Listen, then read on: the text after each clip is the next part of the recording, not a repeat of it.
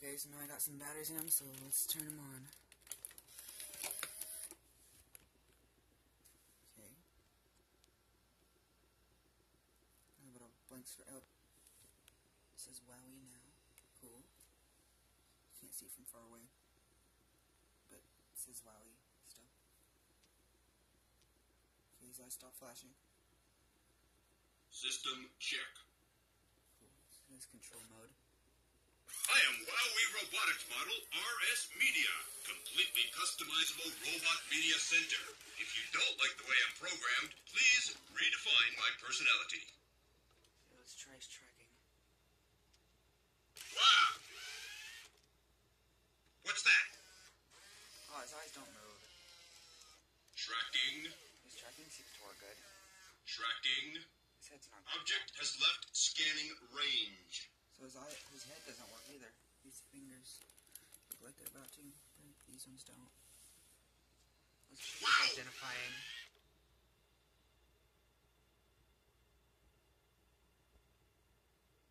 Hey there, human.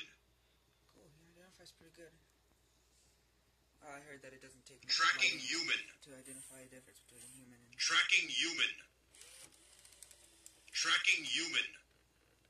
So his camera. works. Tracking human. Tracking human. Maybe just my hand here. Tracking human. It's not there anymore. Tracking human. Greetings. Okay. Yeah, it looks like he works good. Okay, I'm gonna put him into puppet mode so we can make him do some stuff. I've been reading his manual online. I read it after I got it unboxed, and I figured out how to do some stuff like make him walk, all that stuff. So, okay. So you have to press the foot twice, Puppet mode. and then you have to press both feet. That's hard. Affirmative.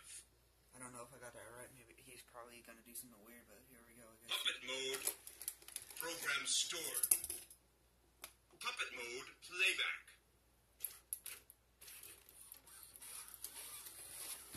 His batteries are kind of low, but he seems to walk pretty good, I guess. He's kind of walking in circles now. Okay, let's try making him. Let's make him. Puppet mode. oh, let's make him back up. Affirmative. Let's see if he backs up good. You can see his head stuck Puppet back. mode. Program stored. Puppet mode playback.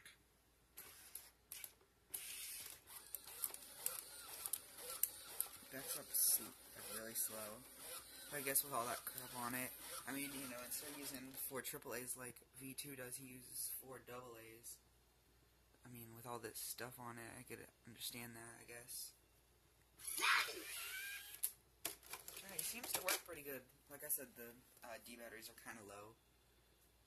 But yeah, so that's my RS Media. I'll be trying to get. Oh, look at that! You can see the infrared sensors on there.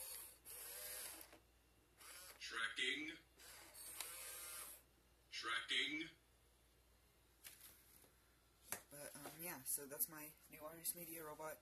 Uh, I forgot to mention in part one that it does not come with a remote, so I'm going to be having to get a remote sometime. I'll either have to order one off eBay or something like that. I don't know. But yeah, when I get a remote, there'll definitely be a lot more videos of him because then I'll be able to actually do stuff with him.